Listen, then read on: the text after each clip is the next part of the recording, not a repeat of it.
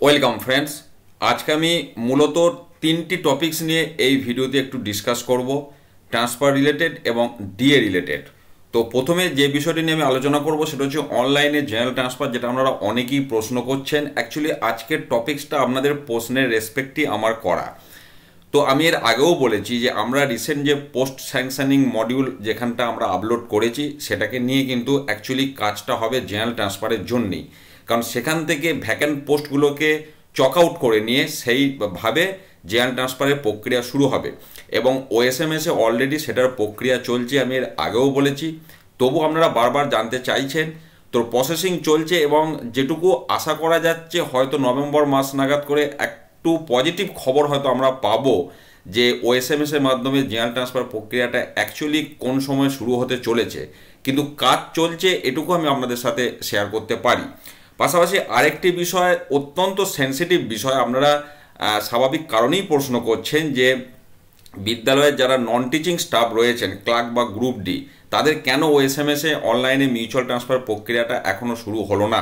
বা প্রাথমিকের শিক্ষক, শিক্ষিকাদেরই বা অনলাইনে কেন শুরু হলো না?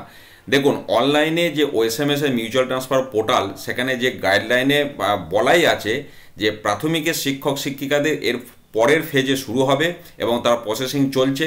পাশাপাশি নন টিচিংদের ক্ষেত্রেও আমি হাই স্কুলের ক্ষেত্রে বলেছিলাম যে আপনাদের কাজ মানে অলরেডি আগে থেকেই শুরু হয়ে গিয়েছে এবং যেটুকু পুজোর পরপরই কিন্তু আপনাদের নন টিচিংদের অনলাইনে মিউচুয়াল ট্রান্সফার প্রক্রিয়াটি শুরু হয়ে যাওয়ার কথা এবং প্রাথমিক শিক্ষক শিক্ষিকাদের তার পরপরই শুরু হয়ে যাওয়ার কথা। এবার এই কটা দিন ছুটির বিষয় রয়েছে সেটা আপনারাও জানেন, কিন্তু কাজ চলছে এটাও আমি আশা করছি নভেম্বর মাসে আরও অ্যাকিউরেট খবর আপনাদের সাথে আমি শেয়ার করতে পারব। তবে দুশ্চিন্তা বা বিষণ্নতার জায়গা কিন্তু নেই। কারণ আপনাদেরও অনলাইনে ও এস এর মাধ্যমে মিউচুয়াল ট্রান্সফার হবে এমনটাই কিন্তু খবর। পরবর্তী যে খবরটা নিয়ে আমি আলোচনা করব, সত্যি কথা বলতে কি এটা নিয়ে এই অন্তত পুজোর মাঝখানে কোনো ভিডিও করার বা কোনো খবর পরিবেশন করার আমার কোনো ইচ্ছা ছিল না। কিন্তু আপনারা অনেকে আমাকে পার্সোনালি মেসেজ করেছেন বা মেলও পাঠিয়েছেন যে সোশ্যাল মিডিয়া এরকম আপনারা শুনছেন যে ষোলোই ডিসেম্বরের আগে একটি ডিএ দেওয়ার প্রক্রিয়া বা অনেক লিঙ্কও আপনারা আমার সাথে শেয়ার করছেন। এখন দেখুন, আমরা জানি যে এই ডিএ মামলা এখন কোর্টে চলছে বা এর আগামী মানে এর যে পরবর্তী হেয়ারিং সেটি আছে আগামী ষোলোই ডিসেম্বর দু হাজার কুড়ি। এবং এই রিলেটেড আমি সরাসরি ডিএ মামলার সাথে যুক্ত আইনজীবীদের ইন্টারভিউ আপনাদের সাথে অনেক সময় শেয়ার করেছি। এবং এখনও পর্যন্ত কোনো মহল থেকে অথেন্টিক এমন কোনো খবর নেই যে ষোলোই ডিসেম্বর দু হাজার কুড়ি যে নেক্সট হেয়ারিং আছে তার আগে এক কিস্তি ডিএ ঘোষণা করা হবে। সেখানে একুশ পার্সেন্ট ডিএ ঘোষণা করা তো অনেক দূরের বিষয়।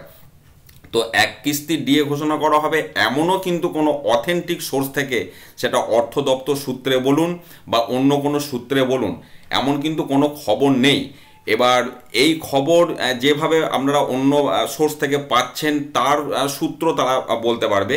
কিন্তু আপনারা আমাকে যেটা জানতে চাইছেন যে এই খবর সম্পর্কে আমার কাছে কোনো খবর আছে কি না তো আমি সেটুকুই আপনাদেরকে বলব যে এখনও পর্যন্ত ডিএ দেবার কিন্তু কোনো খবর নেই এবং আইনজীবীদের সাথেও যে আমার ইন্টারভিউ হয়েছে আপনাদের সাথে আমি এর আগেও শেয়ার করেছি, তো তারাও কিন্তু ডিএ দেওয়ার ব্যাপারে আশাবাদী তো ননই এবং এই ধরনের যে কোনো প্রক্রিয়া চলছে বা চিন্তাভাবনা রাজ্য সরকারের পক্ষ থেকে করা হচ্ছে এমন ইঙ্গিতও তারা কিন্তু দেননি।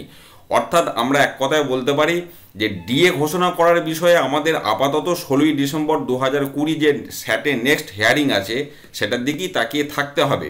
ইন দ্য মিন টাইম যদি ডিএ ঘোষণা হয়, সেটা তো সকলের কাছেই আনন্দের খবর, রাজ্য সরকারি কর্মীদের কাছে। বা সেই সংক্রান্ত কোনো খবর পেলে সে আপডেট তো আমি আপনাদের সাথে অবশ্যই শেয়ার করব।